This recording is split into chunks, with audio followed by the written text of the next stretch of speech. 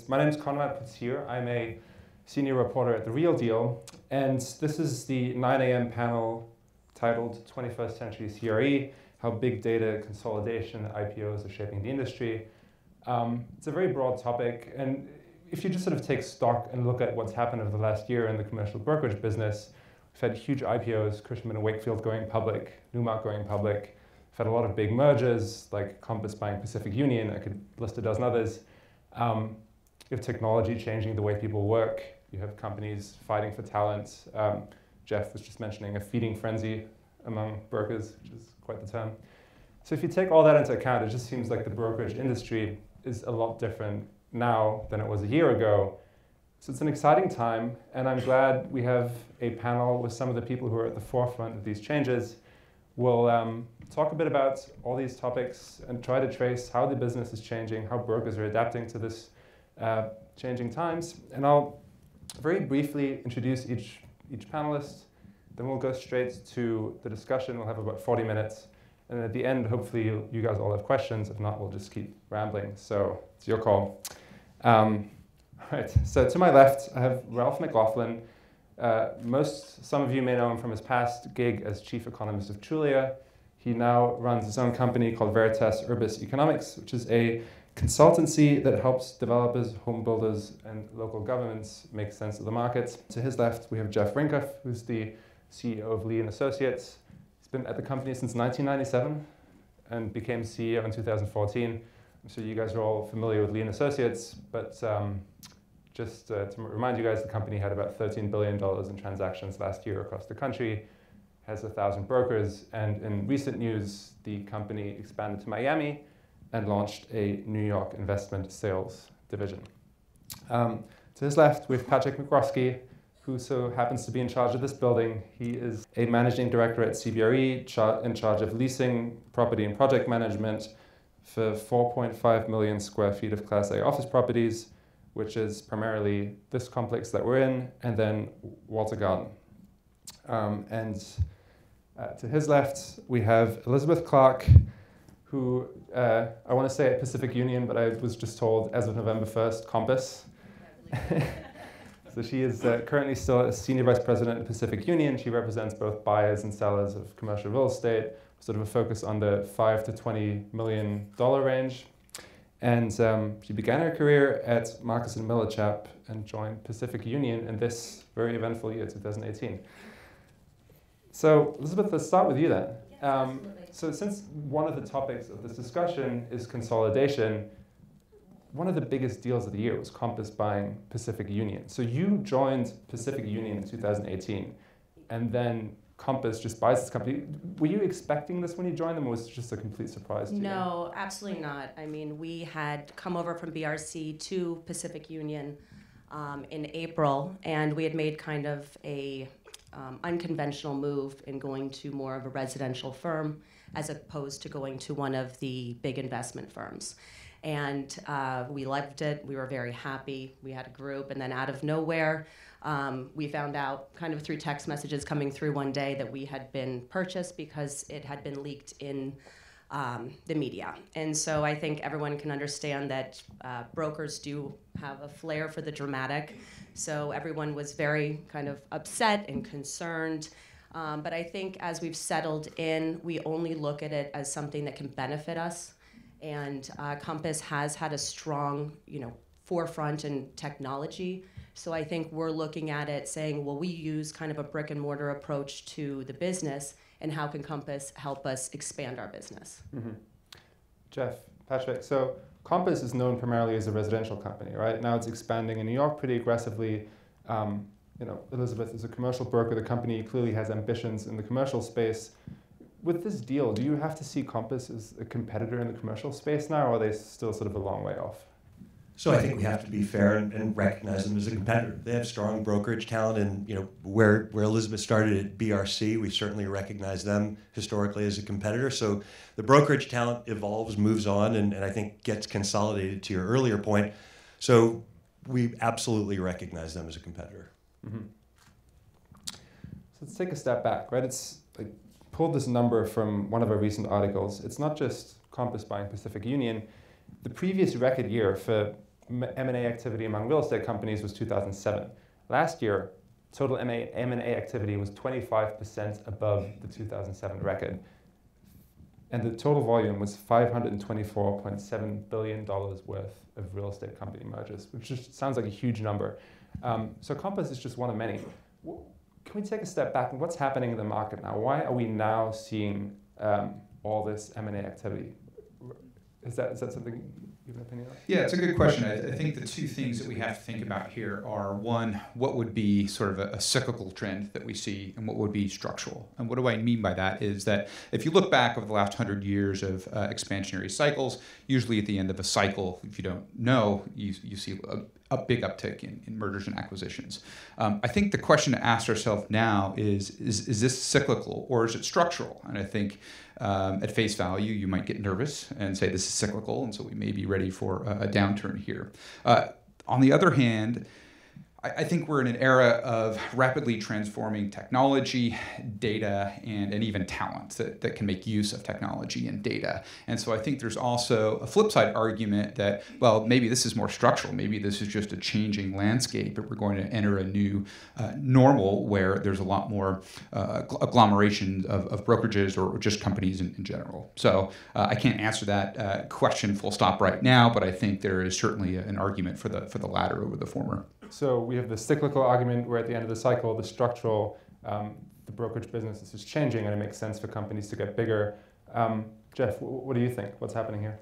So I think you're in an environment where capital of all types is chasing, you know, uh, is chasing transactional volume. And so maybe 25% in excess of 2007 volume seems like a big number, but I think inflation adjusted, it's probably about the same.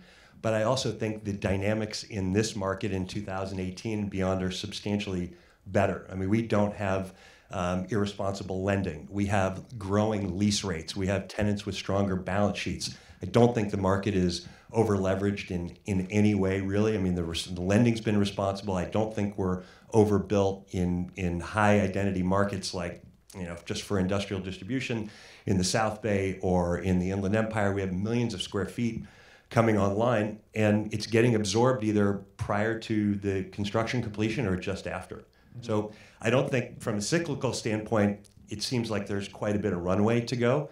Um, from a structural standpoint, it seems like there is definitely a sea change. And so you've got capital that will pay a higher multiple for brokerage talent. I think that's given rise to a couple of the IPOs, some of the acquisition that you've seen it certainly is um, a catalyst for us to expand as a company into markets where we don't have a presence, but that are large top 50 MSAs in the country because there is so much transaction volume and we have so many multi market companies that want our services in places where we historically haven't had the ability. We just haven't had a flag. Mm-hmm. So you feel that pressure to expand as all these companies get bigger? I think it's pressure that is driven by the opportunity. So I don't think we're pressured to expand. We're really, really selective. So we're different than some of the public companies that um, that are expanding through acquisition. And our model is that we we do not have the ability to become a public company. It's part, not part of our model. Our capital structure is very, very different, and it includes a co-investment of our existing senior brokers and every part of our expansion, which is probably more complicated than this conversation needs to be. But um, we, we, we will not become a public company. We really grow with entrepreneurial brokers that have had penetration and success in the market and want to have a different experience than what the strong public company experience is, um, but a little more entrepreneurial. Mm-hmm. Patrick, I mean, the, the, real estate brokerage business has always been a little bit unique in the sense that you can be a fairly small company and be very successful, make a lot of money. There's a lot of industries out there where that hasn't been the case for like 50 years. Think of grocery stores or whatever have you. Do you think that's changing? Are, are we at the beginning of this big consolidation where eventually it'll lead to just two or, two or three or four or five CBRE type companies and no one else? I agree with what they were talking about. I think the runway is still a little bit longer here, and there's a ton of capital out uh, in the market right now. I think a lot of these smaller firms are looking at it saying, hey, why not? Let's take some, some chips off the table here, and if we can be acquired and make a lot of money and put some money in our pockets, we're going to do that.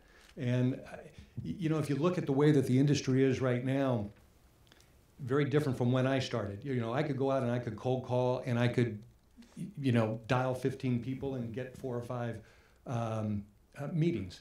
It doesn't happen anymore. It's all institutional. It's it's the big corporations, and they've got the corporate accounts. So I think the dynamics of the business have changed a lot. And I think you're going to see the bigger companies getting bigger, and the smaller companies being uh, absorbed by the larger firms. Yeah. And Elizabeth, you're part of a bigger company now than you were a couple of months ago. Does it change anything for you? Is it does it help to be have this network behind you? You know, I think at the end of the day, it doesn't make that big of a difference. And it's funny that you mentioned kind of the cold calling approach because, you know, there are the people that are going to sell the institutional assets like the one we're sitting in, but the bread and butter of our business is really going after that five to twenty million dollar range. And we still take an old school approach of cold calling and meeting. And so it's a little bit different where I think it's not going to affect us because that's our business model and we execute on it and we use uh, you know the new technology or things to complement the business but at the end of the day we're still hitting the streets and hitting the grounds hard. And the funny thing is we'll call or cold call institutional owners and they'll still be responsive to us. So it's not limiting us in terms of our business. And you know when we made the decision to go to pacific union I asked one of my clients, because we were talking to a lot of the big firms, I asked one of my clients, we had lunch, I said, Do you know who I work for? And he turned to me and he said, No, who? And I knew at that moment it didn't matter where we were, it was a matter of being with a company and a culture that we were happy with. Mm-hmm. Jeff, you mentioned you're, you're expanding, you're feeling the pressure.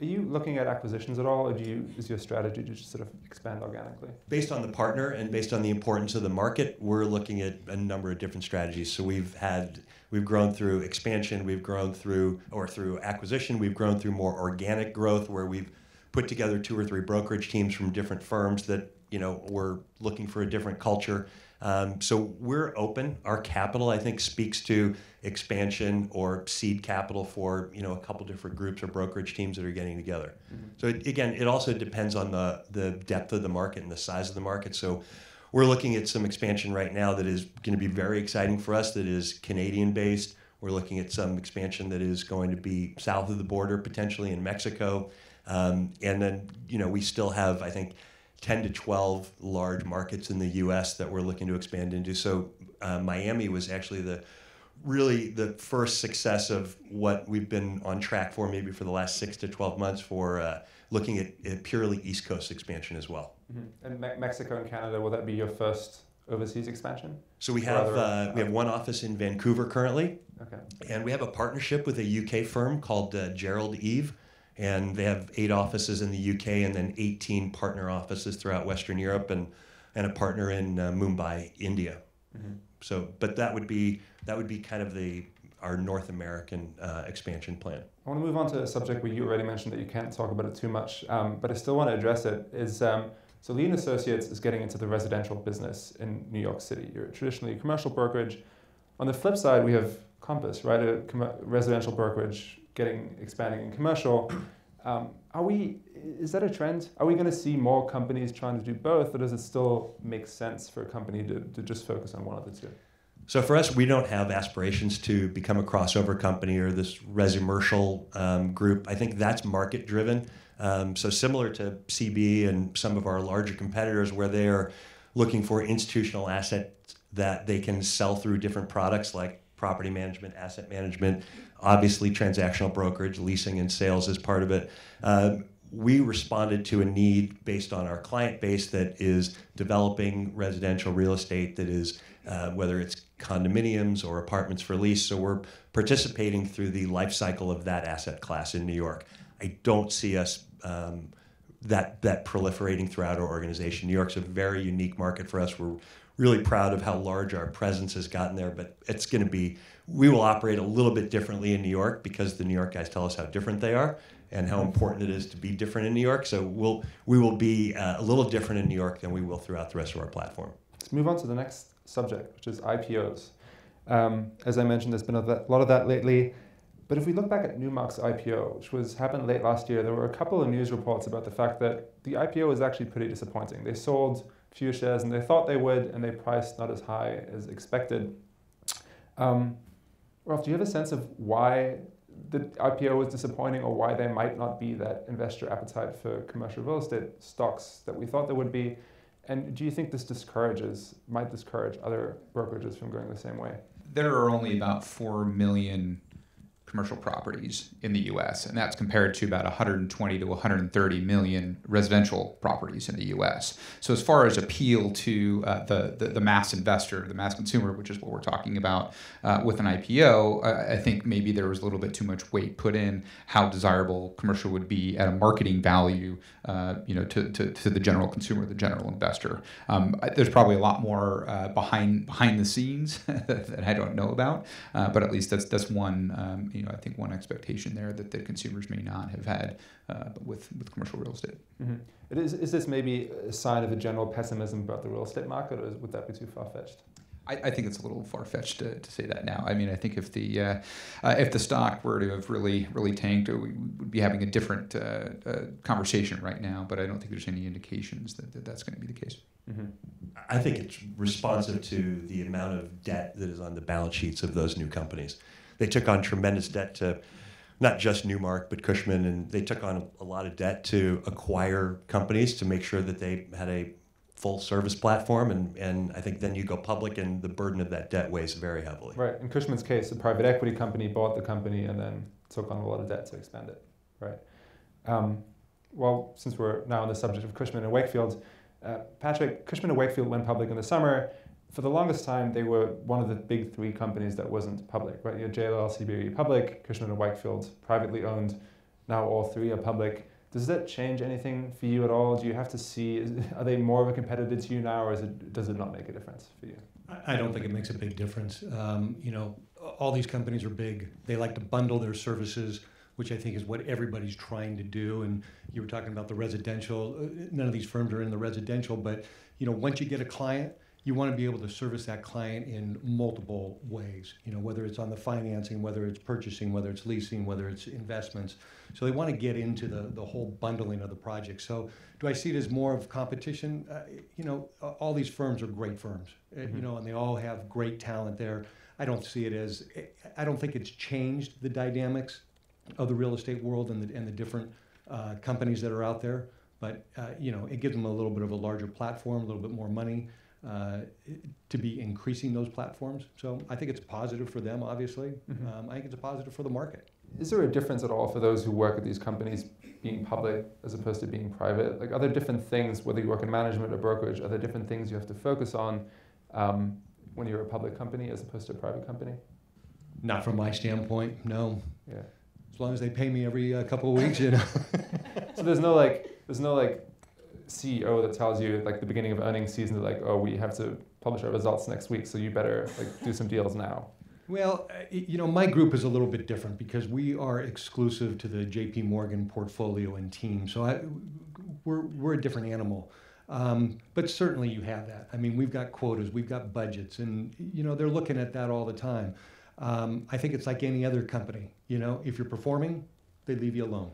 Yeah. You know, if you're not hitting those numbers, they're going to be on you we've been in a very, very fortunate market here over the last, you know, eight to 10 years. And if you're not making money in this market, you're probably not going to be in the business much longer. So, um, you know, maybe when maybe when the market changes, and hopefully that's not for a while, but uh, maybe you'll start seeing some more of that pressure. But uh, right now, it's it's pretty strong. Yeah, and, and Elizabeth, there's inevitably going to be rumblings and rumors about when Compass is going to go public. Is that going to be the next big surprise for you? Do you think? I think that's already the rumblings that are out there. Are uh, pardon me when it's going to go public, but in, from our perspective, it doesn't make a difference, kind of either way. I mean, we hear the rumblings, people talk about it, um, but we're so you know insulated in our business uh, that it really I don't think will affect us in a negative way. It it will probably just be a positive. Mm-hmm. And Jeff, do you sometimes wish you were a public company? Is it Never. part of you? No? I think well, I think uh, from an industry standpoint, Wall Street analysts are really challenged by transactional brokerage revenue because it has the tendency to be to fluctuate greatly. So it's it's up and it's down, and it's not something you can program for each quarter. So I think so to speak to CB's platform, and they have a tremendous company, and uh, they provide 10 different services which help them program the income and kind of flatten it. And then when brokerage revenues are great and they outperform, I think you'll see the stock price pop, and when brokerage revenues are lighter, whether it's market forces or just timing, I think the other services they provide will will sub in for that revenue. Um, and I think Wall Street likes how uh, programmatic that other those other service lines present income in. For us, we're transactional brokers. I would not want to report to an investor group or a, a, a conference call every quarter. It would be very, very challenging. Um, we take a much longer view because we don't have that reporting uh, necessity. We, of course, we have budgets and we have requirements and we have thresholds and goals and objectives. But I think we're looking at those more in one and three and five years. So you mentioned earlier, Jeff, that um, companies like Cushman, Newmark took on some debt to expand pretty aggressively prior to their IPO. Um, they've hired a bunch of top teams in New York City, for example, Cushman and Wakefield uh, poached Adam Spies and Doug Harmon, who are the, the top investment sales brokers probably in the country. Um, Ralph, can, can you t- what's the economic rationale behind this? Why would a company try to do whatever they can to expand right before an IPO? Isn't it a little bit late? Uh, it depends what their what their long term goals are. I, I mean, uh, when when, when companies make decisions, um, it's not always about the, the, the short term return to uh, stockholders. Uh, I mean, stockholders will respond, and that's what causes uh, prices to, to go up and down. But I think there's a lot of um, a lot of examples of this in, in the marketplace of companies actually making good, prudent, long term decisions that uh, stockholders don't necessarily agree with in the, in the, short run. So on the residential residential side, for example, um, uh, you know companies like Zillow uh, you know, announced that they're going to start basically buying homes from consumers and, and, and reselling them. That, that was widely unpopular with um, stockholders, and it may turn out to be a long-term bad bet, but it was a, it was a big it was a big important bet. So you know, the question is how prudent that decision is, is made. I think there's an argument if you're going to take on that debt, it's a long-term investment uh, to grow, uh, even if stockholders don't agree. The question is whether or not that plan is going to be well executed, and, and there's risk in that ex- execution, and I think that's why um, you know some of the some of the stock may have uh, uh, been volatile around the, the, the, time of the IPO. Yeah, and for, for the rest of the panel, as these companies have tried to grow prior to the IPOs, has that increased competition for talent in the industry? Do you get offers from a company trying to go public like once a week nowadays? Our brokers get approached all the time, and we've seen quite a bit of trading between the largest companies in, in the largest markets, whether it's CB, JLL, Cushman Colliers, Newmark, Avison Young, Leonisa. I mean, there's been quite a bit of trading. Um, so you'll see a large team leave Cushman and go to, to Newmark, and then you'll see a large team leave Newmark and go to CB, and it seems like it's a little bit of a lazy Susan effect. Um, but I, I, think there's been quite a bit of debt that has been um, accumulated based on the acquisition of brokerage talent. Um, and to your question earlier about why would a company do this before the IPO, if I can take a brokerage team that's doing $20 million in revenue in a large market and I can pay them a signing bonus and tie them up in a contract for five years that's equal to one times their revenue or maybe one and a half or two times. And then I can go to Wall Street in six months and my IPO will pay me six times for that revenue. It's an easy bet. Is there, is there a risk of overpaying for that kind of talent though, that you end up offering them too much to entice them away? Inherently, there's a risk anytime you buy something, you may overpay for it. But with brokerage talent, I mean, you know, it, it's very challenging to pay a forward for brokerage talent that, especially when we've been involved in a tremendous expanding market with um, with higher values and, and higher fee revenue. So you're basically saying it's a no-brainer to do whatever you can to get the best talent from your competitors. I think you always want to have the best talent. I think you want to try and achieve acquisition of that talent at reasonable numbers. Yeah. What do you think? I was just going to say the interesting thing that I've seen, and I'm not part of that world really, but I think any talented broker is going to be poached, right, all the time in a good market.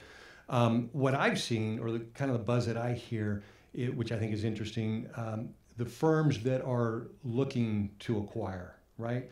So they're pulling these people and they're paying some pretty decent money to acquire them, but it's the existing brokers that are there that are kind of going, well, wait a minute, what about me?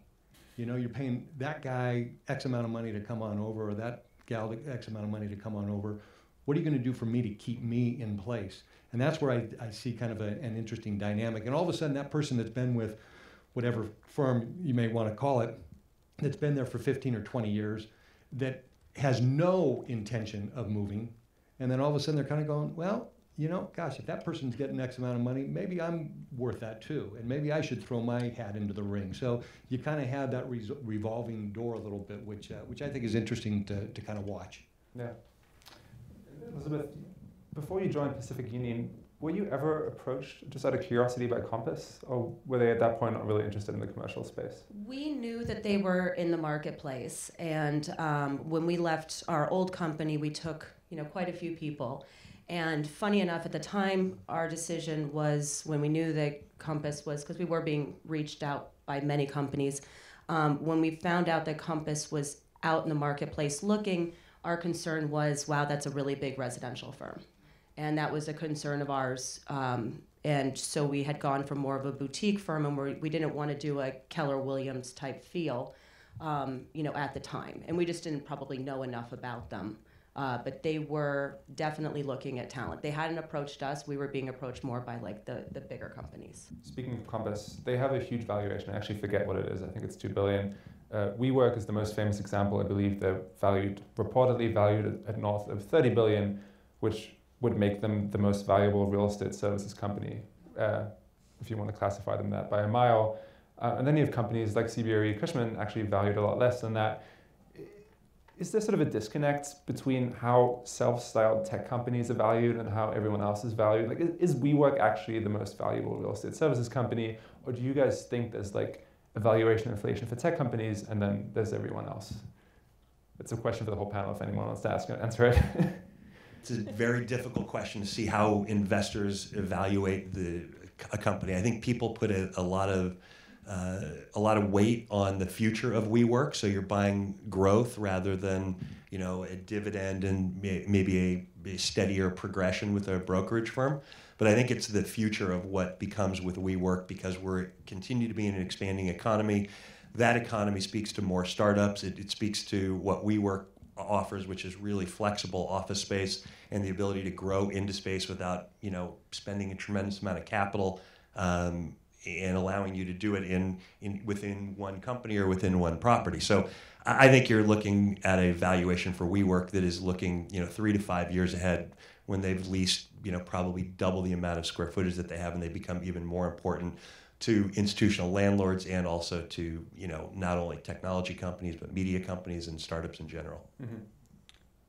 Companies like WeWork, Compass market themselves as tech companies, and you can debate as to whether they actually are tech companies. I mean, would you ever consider rebranding Lee and Associates like a technology or a community company? And do you think that would change things?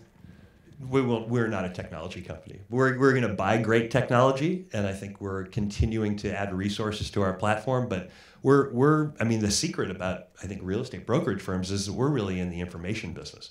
And so we, we think we're, you know, historically have been involved in selling and leasing real estate, but we're really in the information dissemination business. So the better we can use technology, whether it's internal technology, external technology, third-party information from our brokers across the across the country or across North America. That's that's how we'll grow is through the the ability to uh, harness more information, to aggregate it, to filter and distill it, and then communicate it to clients and prospects. Big data has always been this buzzword. Recently, there's a couple of companies who've become incredibly valuable, valuable basically virtue of controlling a lot of data. Facebook being one example. Is that starting to happen in the real estate business too? That companies are sort of realizing how valuable their data is and are trying to figure out ways to sort of utilize that data. Ralph, is that something that you're seeing? Yeah, I mean, 100%. If you look at the traditional role, for example, on the residential side of the real estate agent, um, it really, the real estate agent was the bastion of, of knowledge and, and, information, just like Jeff said here. Um, what Zillow, Redfin, Trulia, so on and so forth did is they democratized that data. They gathered, they compiled, and then they gave it directly to the consumer. So the consumer would come into the transaction much more informed, uh, and the broker was uh, less a gatekeeper to that information. I think on the commercial side, certainly uh, companies like CoStar are trying to be the Zillow, Redfin, Trulia of, of the commercial real estate world, but there's a lot more challenges. Data is um, a lot more um, deconcentrated. It's in the hands of many, many different brokerages. There really isn't a central MLS system like there is in uh, the residential side. But I think there's still a lot of opportunity for, for growth. At the end of the day, it's about making the client a much better informed to help them make more prudent decisions. On the residential side, I think that's quite far along. I think there's a long way to go on, on the commercial side. The difference is, is that on the commercial side, uh, pretty much everyone compared to the consumer side, uh, the residential side, they're a lot more informed. They're professionals. So it's uh, you know making sure that the data and knowledge and information that you're providing to them is actually uh, a value add for their decision making, and that's a lot more difficult than uh, you know to value add for someone who really doesn't know anything about buying or selling real estate. Which you can make an argument the residential side uh, consumers are a lot less a lot, lot less informed uh, than or a lot less uh, they have a lot less expertise than uh, than, than say um, investors or, or, or, brokers. Yeah, so every every commercial leasing broker has a CoStar account that they can access. They have a basic understanding of what the market is like. So if you want to find data to to make them actually do their job better, get a competitive edge, you have to find new types of data. What, what are some of the data that, that you see as sort of people I, using to try to get yeah? I, I mean, fundamentally, it's about building a 100% um, census, if you will, of the commercial real estate market. And I, and I think CoStar has, has has done that. And they're trying to do it in a in a better way. Certainly, um, Zillow and Trulia have done that.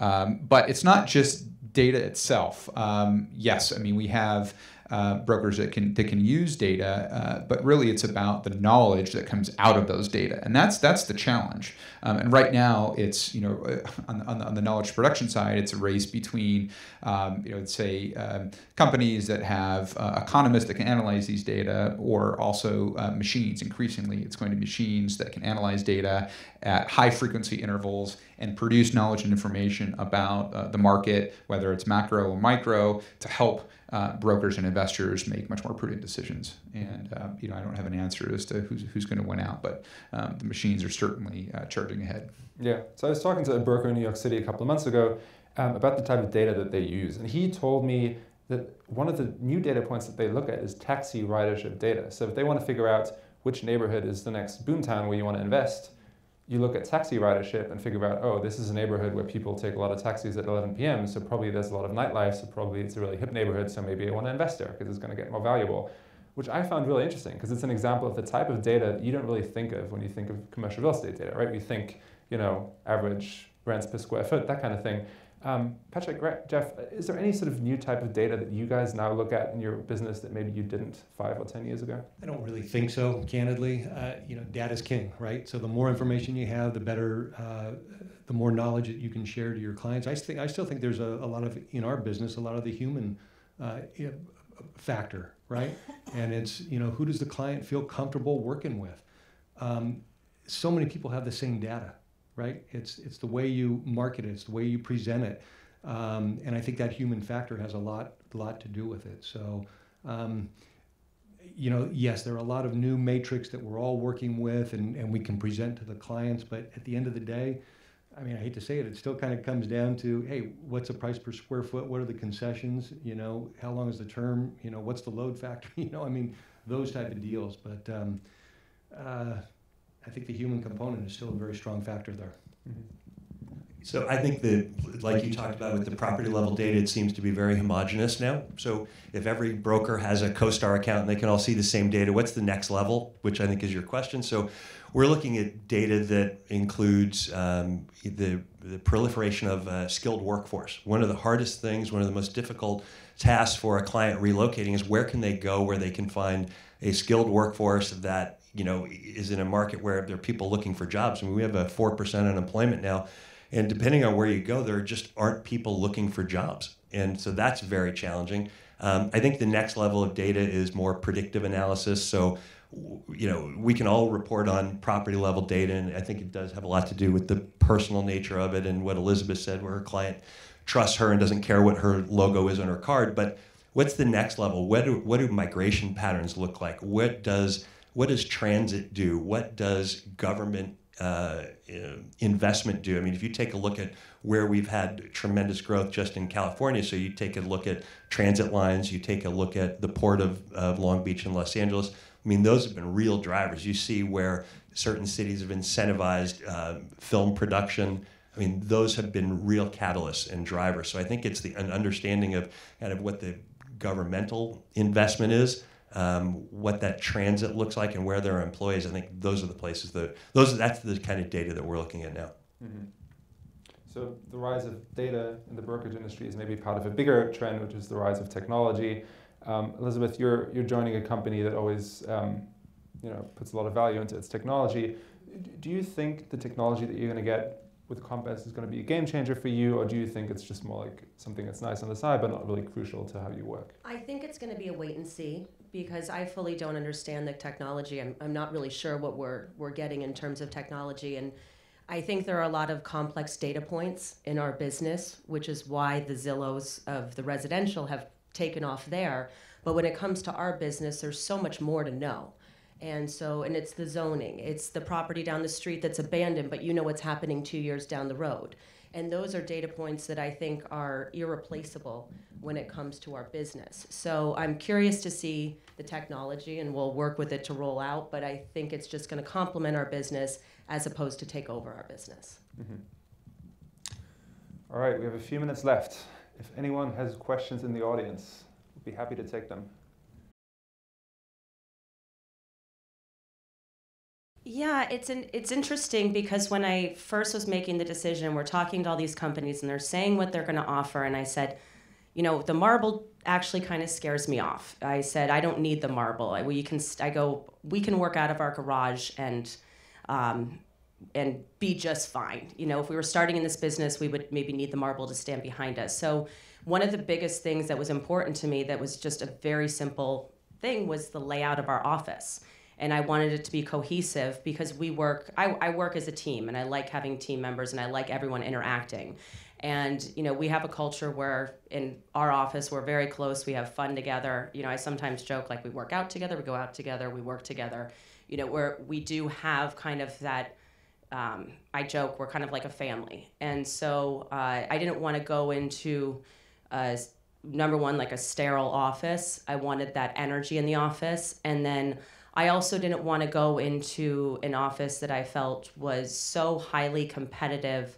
Um, I I like having collaboration between people. I like being able to share a deal with someone and know that you know they're not going to turn around and call the owner. And so that those were things that were important to us. So it was um, you know a culture of fun and work and it, the energy that the office provided was very important.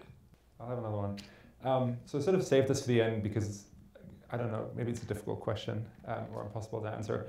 But um, we've talked about how important it is for companies to use their data to build out their technology. All that is expensive, right? It costs money to build out a technology team. It costs money to build out a data analysis team.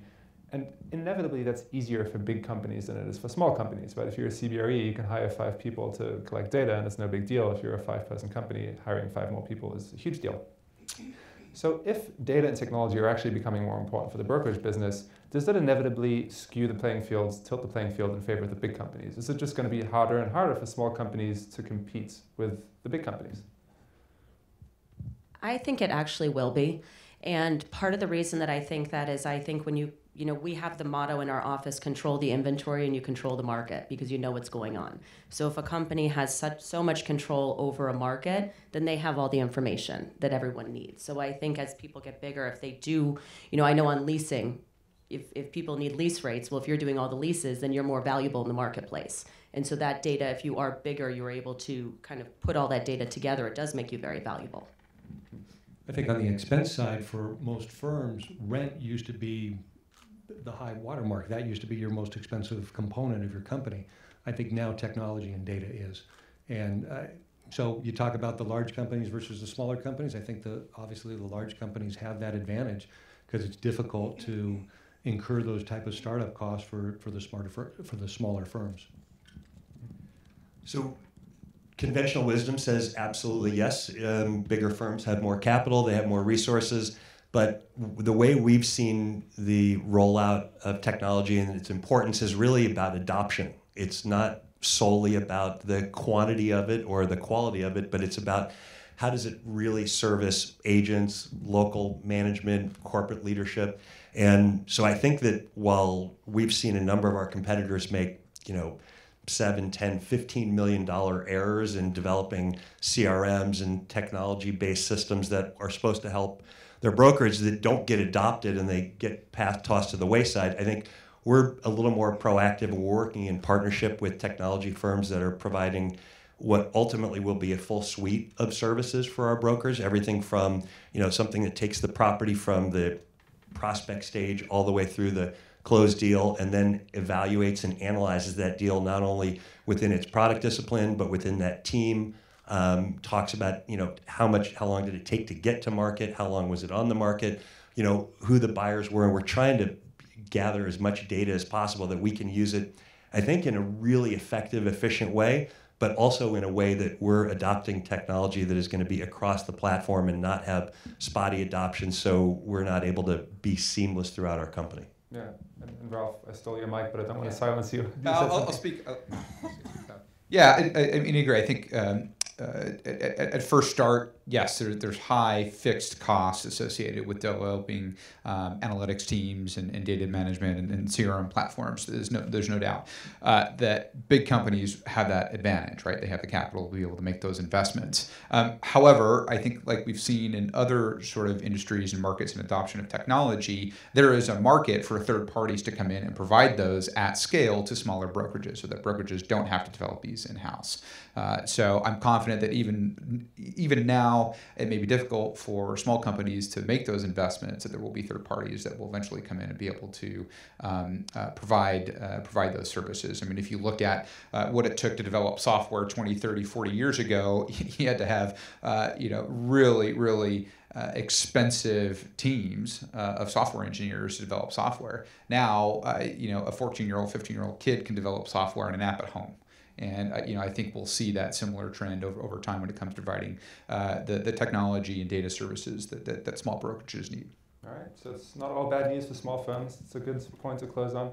Thanks so much for having us. Please give a round of applause to the panelists.